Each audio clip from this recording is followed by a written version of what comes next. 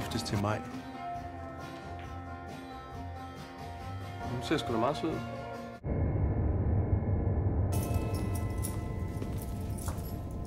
Hø! Hvad laver du her? Hvor Herning?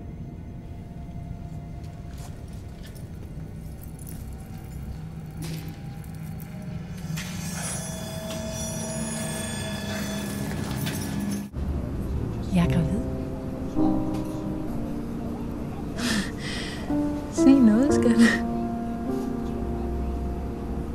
Jeg, jeg kan ikke... Øhm...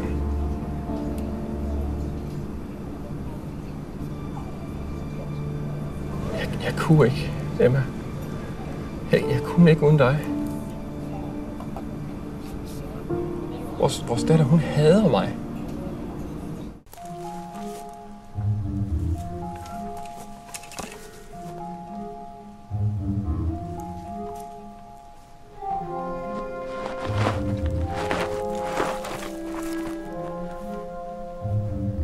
Et monster. Et uhyre, som kan lugte din frygt gennem vandet. Og hvor ved du så det fra?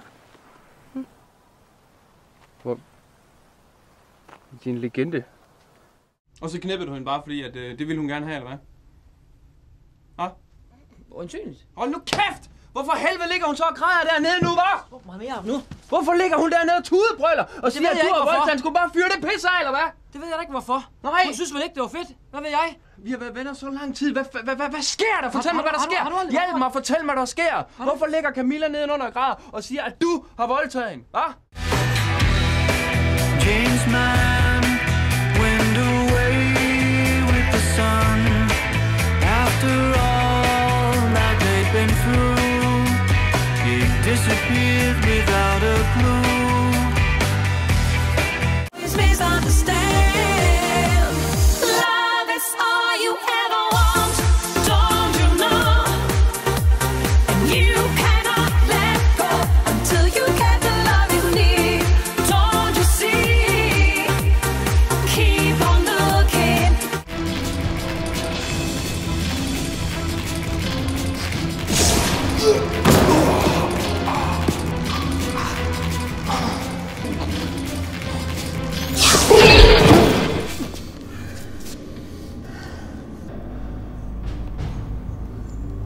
Jeg vil ikke engang slå dig ihjel.